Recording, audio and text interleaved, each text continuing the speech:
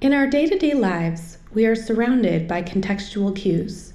The websites we visit, the files and applications we open, the music that is playing, meetings, phone calls, tweets. And as we try to retrieve a piece of information from our past, human memory leverages these contextual cues for recall. What was that PDF I was looking at yesterday?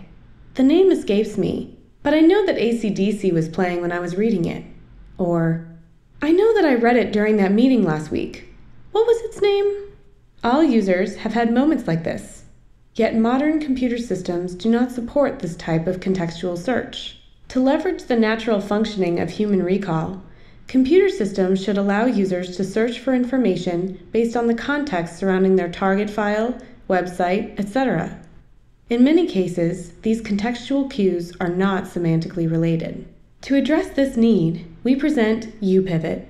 YouPivot is a novel approach to personal file and activity search.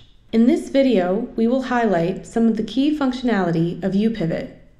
Aaron is a researcher in psychology working on a major paper on school children.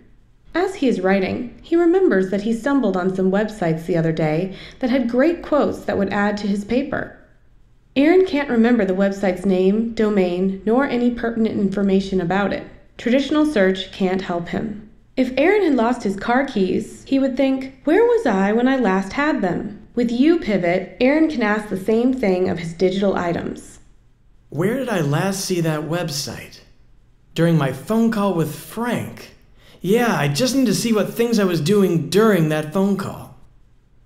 Aaron starts typing phone into his YouPivot search field and quickly finds the meeting with Frank on September 10th, and upon hovering, clicks the pivot button. Aaron now can see all the files, websites, and other activity that was going on during that meeting. The first thing that Aaron notices is some high importance activity in his visualization. He hovers over it and sees that it relates to YouTube. Specifically, it is a video on empathy. That's right, he realizes. Frank wanted him to talk more about empathy in his research. Aaron can easily see that the YouTube video he located was opened only a few minutes after the meeting with Frank started. As Aaron looks more, he now sees other websites about that topic.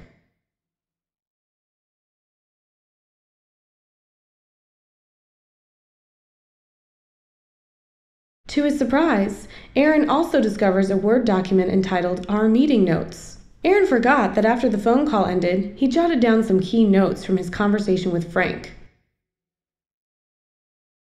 To make sure he didn't miss anything, Aaron browses to the left and right of his phone call with Frank using the 24 hour visualization.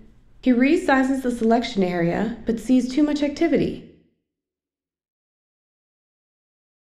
To help him filter down his results, he notices that the key terms children and empathy show up quite high. He then clicks on the keywords to apply them as a filter on his data. He also wants to see any search queries he did, so adds Google to his list of active filters by using the source icon. Aaron wants to make sure he doesn't forget all of the files and websites he just found and now has open. As a reminder to himself, he makes a time mark so that he can pivot on it later. Now, whenever he searches for this time mark and pivots, he will see all the files and sites that are active. YouPivot allows Aaron to find websites and local files based on the contextual cues of his phone call meeting with Frank, even though the websites and calendar entry have no semantic relationship. This video only highlights a few of YouPivot's features.